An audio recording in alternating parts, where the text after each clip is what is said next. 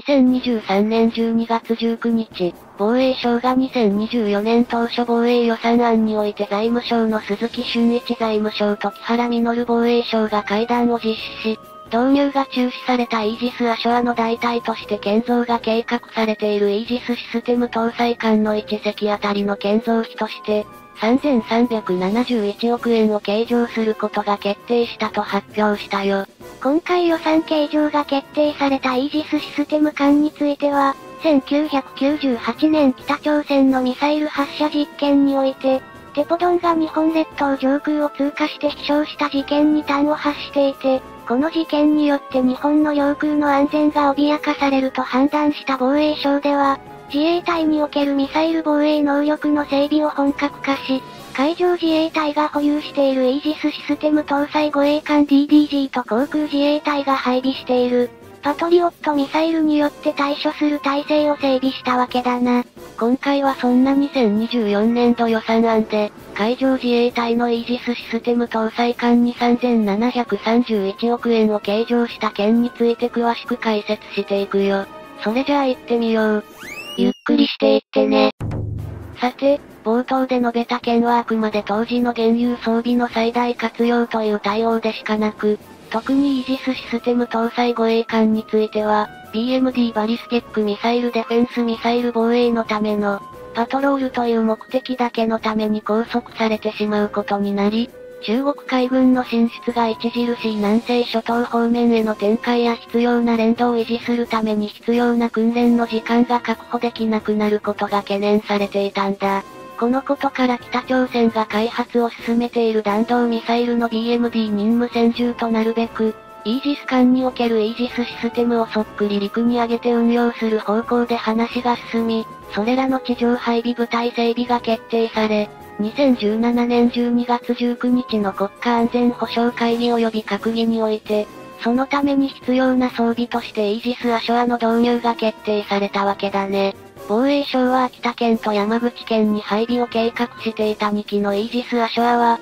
弾道ミサイルを迎撃するための高高度地対空ミサイルのブースターが配置する基地の敷地外に落下する可能性があることについて、配備を反対する地元への説明が不備だったことなどの問題が発生したことで、2020年6月15日に当時の河野太郎防衛省が導入計画の中止を発表したよ。それを受けた日本政府は、すでにアメリカのロッキード・マーティン製のレーダー ANSPY7 と、イージスシステム2機を発注する契約が済んでいたことから、これらをキャンセルせずに活かすべく今回のように地上の制約を受けない、洋上の艦艇もしくは建築物などへ搭載して転用することを決定したってわけ。洋上への転用についてその方法についての議論がなされ、護衛艦を新造して搭載する案のほか、民間の船舶をチャーターして搭載する案や、洋上に海上油田のような大規模な建造物を構築してそこに配備する、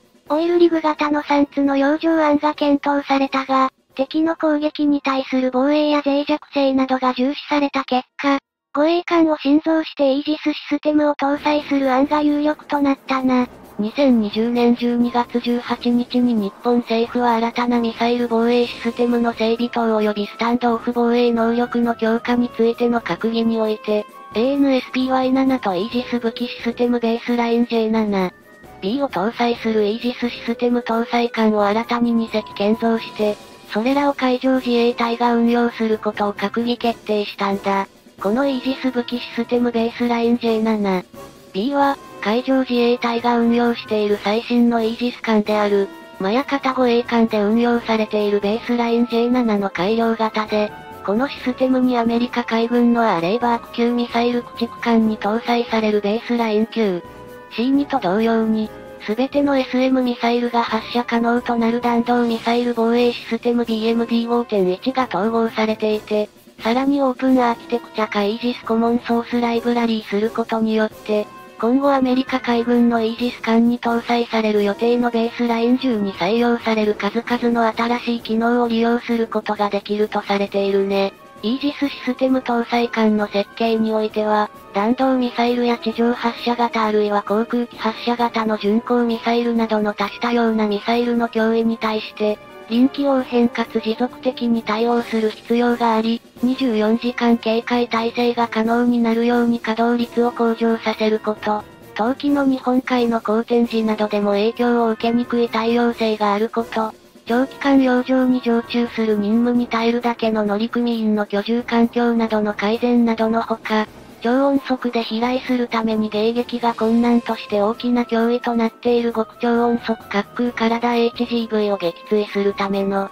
新型迎撃ミサイルの運用など、将来的に開発されるであろうと考えられる装備品の運用を、わずかな回収で可能にできるような拡張性など、様々な要素に対して総合的に考慮された上で、既存のイージス艦と同等以上の防空能力と機動力を保持できる艦艇であることとされているんだ。イージスシステム搭載艦の紙幣層には、艦対空スタンダードミサイルスタンダードミサイル SM3 や、弾道ミサイルや極超音速滑空兵器にも対応可能とされる SM6 のほか、日本が侵略を受ける可能性が高まった際に敵基地を攻撃するための反撃能力として、射程遠心回収の後に導入が予定されている人に意識地対艦誘導弾能力向上型艦艇発射型も搭載される計画だぜ。これらの各種ミサイルを発射するためにイージスシステム搭載艦に搭載される垂直発射装置 VLS は200セル以上とされ、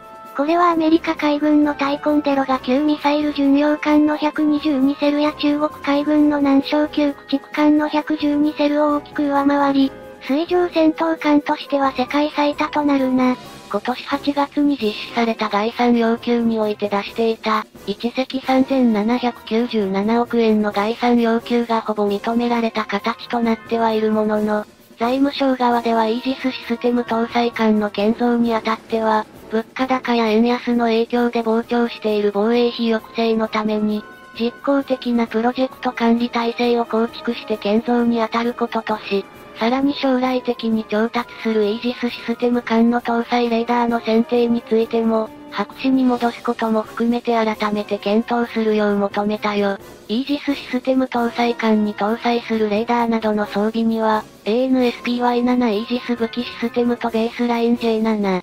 B 及び、アメリカ海軍が開発した共同光線能力 CEC が搭載される予定であるが、その搭載レーダーの白紙化の検討を求めていることについて、様々な憶測を呼んでいるんだ。マヤ型護衛艦に搭載されているレーダーは ANSPY1DV あり、アメリカ海軍のイージス駆逐艦アレイバーク級ミサイル駆逐艦の最新型であるフライト3のレーダーには、アメリカのレイセオン社製 ANSPY6 が導入されていることから、イージスシステム搭載艦に ANSPY7V1 を搭載することを疑問視する声が以前から上っていたね。しかし、防衛省ではオージスシステム搭載艦に ANSPY7V1 を採用する理由として、性能面において SPY7 と SPY6 との間に大きな差はないことや、実写試験や維持運用に必要となる経費を含めた経費総額で比較すると SPY7 の方 SPY6 よりも安価となること。現時点で SPY7 を SPY6 に変更した場合には調達スケジュールにおいてさらに数年の遅延が発生することなどを挙げて、SPY7 の導入予定に変更がないことを強調しているぜ。それでも疑問視する声の中には、これらの防衛省の主張は全てが後付けであって、陸上のイージス・アショア用として ANSPY7V12 機の購入をロッキード・マーティン社と交わした契約を破棄することで、それまでにかかった経費700から800億円が回収できなくなるからではないかと憶測する声が上り、防衛省としてはもはや ANSPY7V1 を選択するより他には道がなかったとする見方が広がっているらしい。財務省側から発信された搭載レーダーの白紙化発言は、この防衛省の姿勢に対して釘を刺しているものとされ、既存の SPY1D や SPY6 などと競合させて導入価格を抑えさせようとの目論みがあるのではないかと見られているわけだ。また軍事専門家などの間では、近年における海上自衛隊の慢性的な人員不足について触れながら、1艦あたり240人とされる乗組員の確保が難しいとの指摘が出ており、地上配備で人員が少なく済むイージス・アショアの導入を再検討すべきだとする声も上っているみたい。それじゃあ今回はこの辺で、よかったら、チャンネル登録してね。